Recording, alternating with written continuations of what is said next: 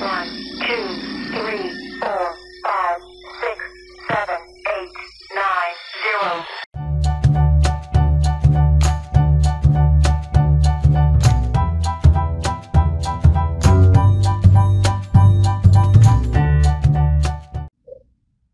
Hello sa inyong lahat! Welcome muli dito sa Unang Math. Ako si Teacher Michelle at bagong episode na naman ang hatid ko para sa inyo. Pero bago natin simulan, kung hindi pa kayo nakaka-subscribe dito sa aking channel, abay, mag-subscribe na at isama na rin pindutin ang notification bell para lagi kayong ma-update sa mga new episodes. This is episode 27 at ang pag-uusapan natin this episode ay tungkol sa perimeter of polygons at ang topic tungkol sa area of rectangles and squares. Okay, simulan natin sa perimeter of polygons. Kapag sinabing perimeter, this is the total measurement of all the sides of a polygon. Let's recall briefly ang tungkol sa mga polygons. Okay, meron itong dalawang uri, ang regular polygon at ang irregular polygon. So kapag sinabing regular polygon, lahat ng sides and angles pare-pareho ang measurement. Okay, ano-ano ang iba't ibang regular polygons? Okay, meron tayong meron tayong regular triangle, okay, ang square, ang regular pentagon, regular hexagon, okay, ano pa? Regular octagon, regular nonagon, and so on. Okay, how about ang mga irregular polygons? From the word irregular, okay, ang mga polygons na ito, ang mga angles and sides ay hindi pare-pareho ang measurement. So, ano-ano ang iba't ibang irregular polygons? Okay, meron tayong irregular triangles. At ang mga irregular triangles ay may iba't ibang pangalan. Okay, merong acute triangle, ang obtuse triangle, right triangle, at ang isosceles triangle. Ang acute, obtuse, at right triangle, yan ang mga pangalan ng triangles based sa measurement ng mga angles nito. Okay, ang isosceles triangle, dalawang sides at dalawang angles ay equal. Okay, aside from irregular triangles, okay, meron ding irregular tetragons. At ang mga irregular tetragons, may iba't ibang pangalan din.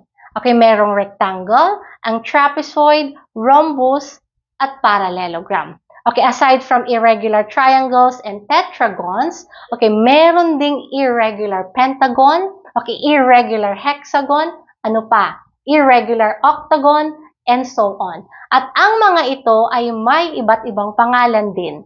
Pero ang focus natin ay tungkol sa mga triangles at tetragons. Okay, so papaano natin malalaman or kukunin ang perimeter ng mga polygons? Okay, simulan natin sa mga regular polygons. Okay, ang figure na ito ay isang regular triangle. Okay, balikan natin ang definition ng perimeter. This is the sum of the measurement of all the sides ng isang polygon. Okay, since this is a regular triangle, ang side na ito, this side at ang side na ito ay equal. So, para makuha ang perimeter ng regular triangle na ito, okay, this side plus this side plus ang side na ito. So, kung ito ay 5 centimeters, ibig sabihin ito rin ay 5 centimeters, ito rin ay 5 centimeters. So, 5 plus 5 plus 5, ang perimeter ng regular triangle na ito ay 15 centimeters. Pwede nating isulat this way. So, 5 centimeters ang measure ng isang side times 3 na sides. So, ang sagot ay 15 centimeters. Okay, pangalawang figure.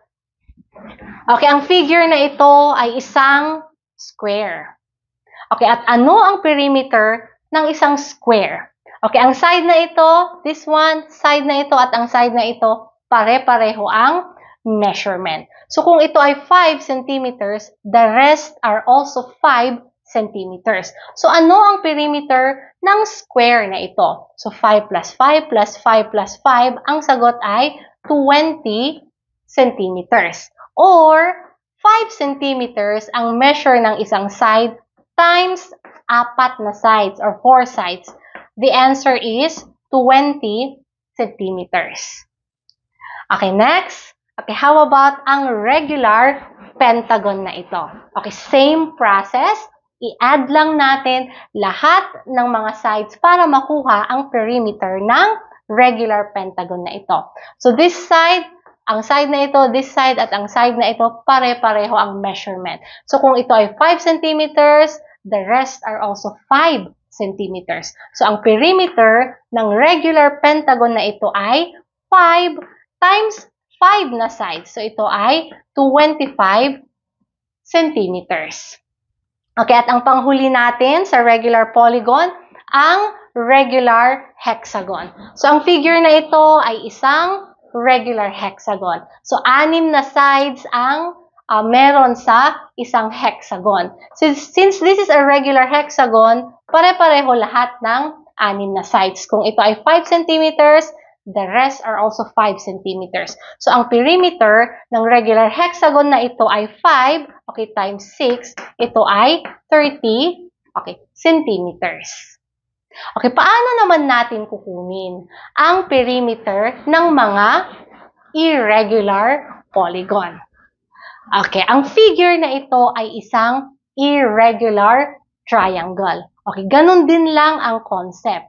I-add lang natin lahat ng measurement ng mga sides ng isang polygon. Pero tandaan, since this is a regular polygon, okay, magkakaiba ang measurement ng bawat sides. Kaya naman, para makuha ang perimeter ng mga irregular uh, ng mga irregular polygon, kailangan alam natin, okay, ang measure ng side na ito, ang measure ng side na ito, at ang measure ng side na ito para makuha ang perimeter ng isang okay, irregular triangle.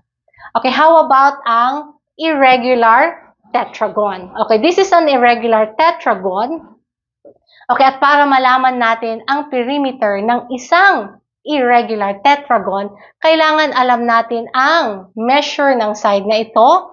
Okay, ang measure ng side na ito, this side at ang side na ito. Okay, i-add lang natin, yan na ang perimeter ng irregular tetragon. Okay, next figure. Okay, irregular pentagon. Ganon din lang. Kailangan alam natin, okay, ang length or ang sukat ng limang sides ng irregular pentagon para makuha natin ang perimeter nito. Okay, at ang irregular, okay, hexagon. So, anim na sides, kailangan alam natin lahat ng measurement ng anim na sides ng irregular hexagon para malaman ang perimeter nito. Okay, ngayong alam na ninyo kung paano kunin ang perimeter ng mga polygons, okay, sagutin naman natin ang mga sumusunod na tanong na ito.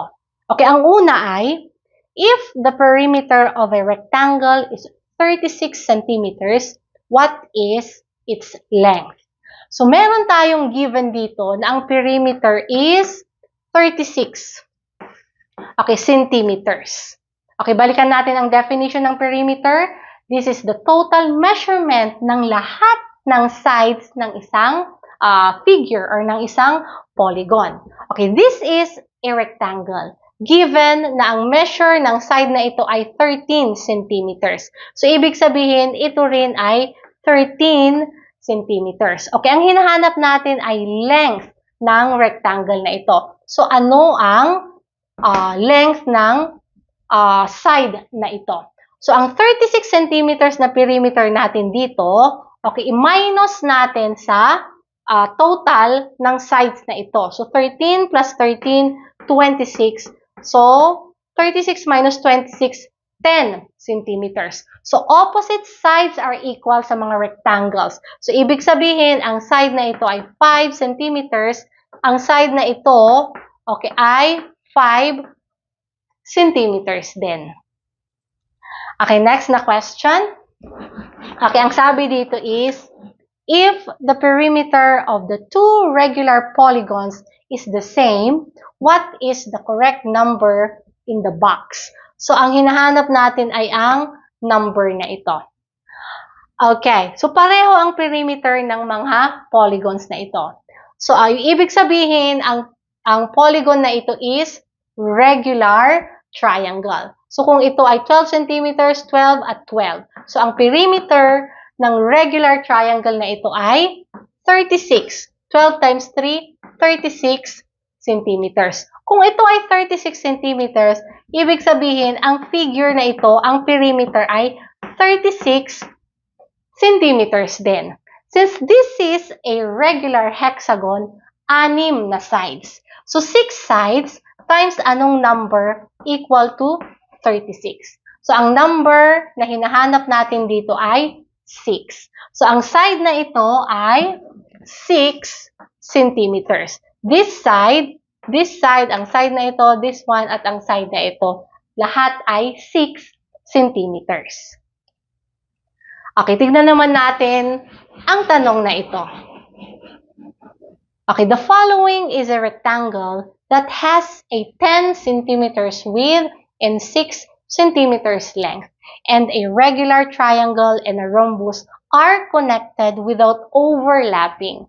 So, what is the perimeter of the figure? So, ito ang figure natin. So, ang hinahanap natin ay perimeter ng figure na ito. Okay, mayroon tayong given na ang rectangle na ito, ang side na ito ay 10 centimeters. Okay, alam natin na opposite sides are equal. So, ibig sabihin, okay, ito ay 10 centimeters din. Okay, kung ang side na ito ay 6 centimeters, ibig sabihin, ito rin ay 6 centimeters. Okay, ang figure na ito ay isang regular triangle. So, kapag regular triangle, lahat ng sides ay equal. Kung ito ay 6 centimeters, ito rin ay 6 centimeters. Okay, ito rin ay 6 centimeters. Okay, at meron pa tayong isang figure dito. Okay, isang rhombus. At ang rhombus, lahat ng sides ay equal. Kung ito ay 6 centimeters, ito rin ay 6 centimeters, 6 at 6 centimeters. So, ang hinahanap natin ay perimeter ng figure na ito. So, ibig sabihin, i-add lang natin lahat ng length ng mga sides ng figure na ito. So, ang perimeter is 10 centimeters, okay, plus 6, plus 6, okay, plus 6, okay, plus 6, plus 10, plus 6, plus 6. So, ang perimeter natin dito ay, okay, 50 centimeters.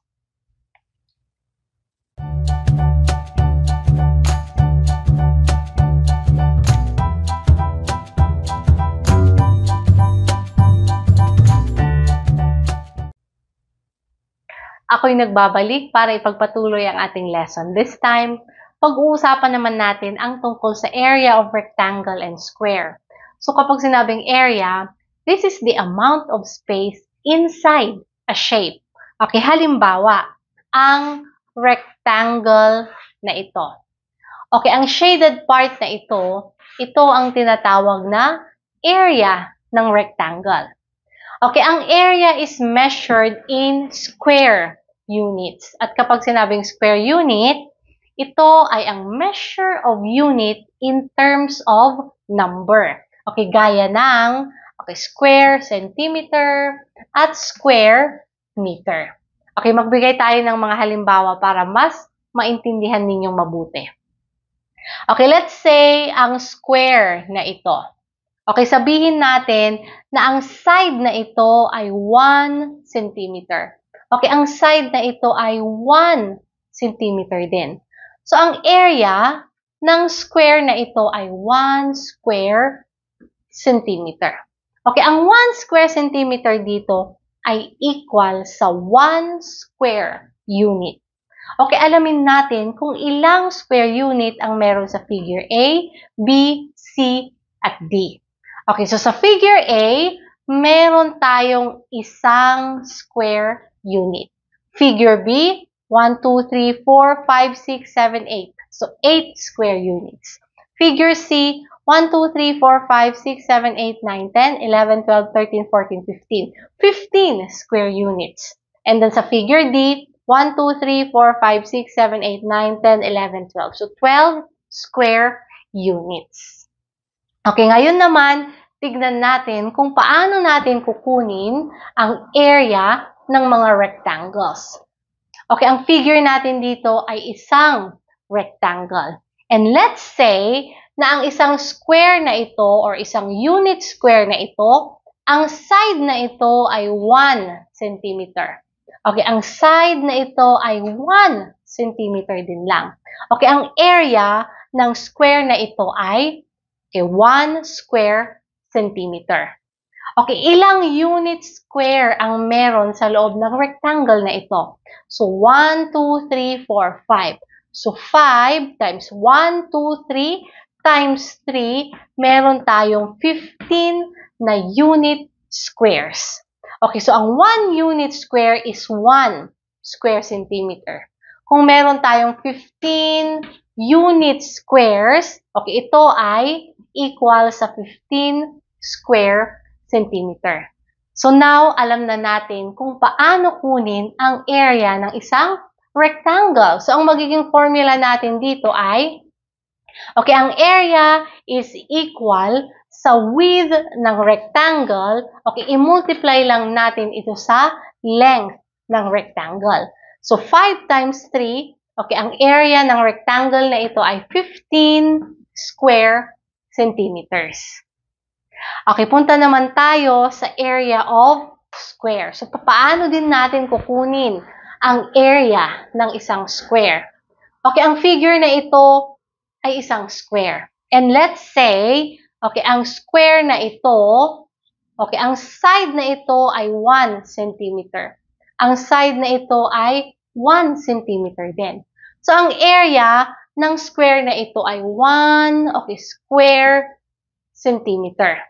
Okay, ilang unit square ang meron sa loob ng square na ito? So, 1, 2, 3, 4. 1, 2, 3, 4. So, 4 times 4, meron tayong 16 unit squares sa loob ng square na ito.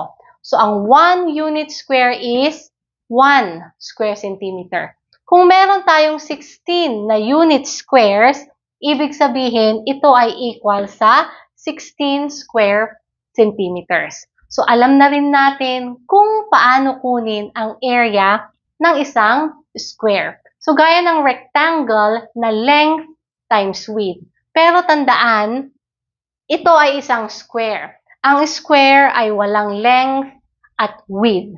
Pero ang concept kung paano kunin ang area ng isang square ay pareho lang sa rectangle. So, sa figure natin na square dito, ang length ay parang ang side na ito. At ang width ay ang side na ito. Okay, ngayong alam nyo na kung paano kunin ang area ng mga rectangles and squares. Okay, sagutin naman natin ang mga sumusunod na tanong. Okay, ang unang tanong ay, ang sabi dito is, the area of the rectangle is 91 centimeters. So, find the length in centimeter. So, ang hinahanap natin ay ang length ng side na ito. Okay, given na ang area ay 91 centimeters. Okay, ang formula natin para makuha ang area ay length times width or width times length. Okay, ang area ay 91 centimeters. Okay, ang ating width or given ang width natin dito na 13 okay, centimeters. So, 13 centimeters. Ang hinahanap natin ay ang length ng rectangle na ito. So, ano ang imumultiply natin sa 13 para ang sagot ay 91? So, ang number ay 7. So, ang length ng rectangle na ito ay 7 okay, centimeters. Okay, pangalawang tanong. Ang sabi dito is, find the area of the shape. So, ang shape natin ay ang shape na ito. At kung titignan ang shape na ito, hindi natin pinag-aralan.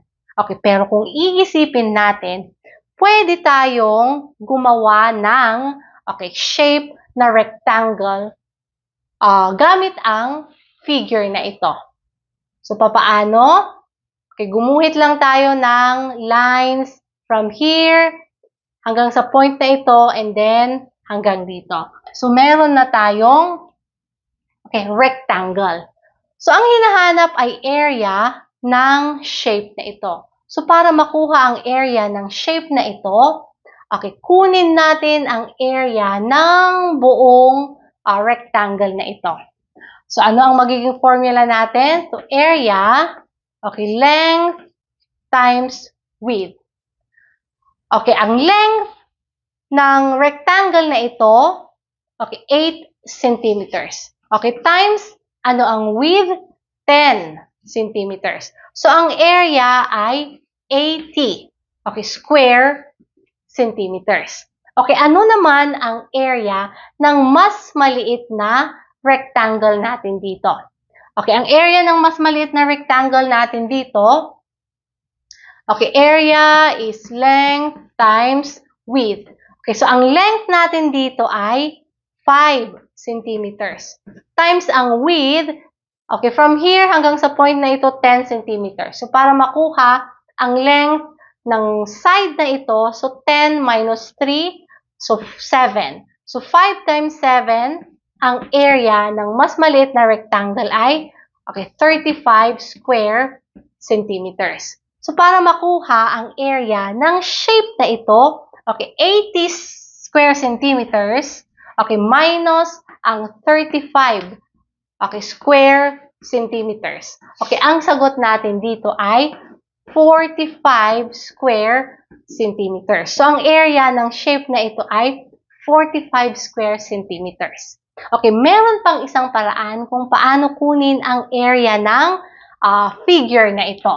Okay, ang second way natin is kunin natin ang area okay, ng rectangle na ito plus ang area ng rectangle na ito. Okay, ang rectangle munang ito, kunin natin ang area.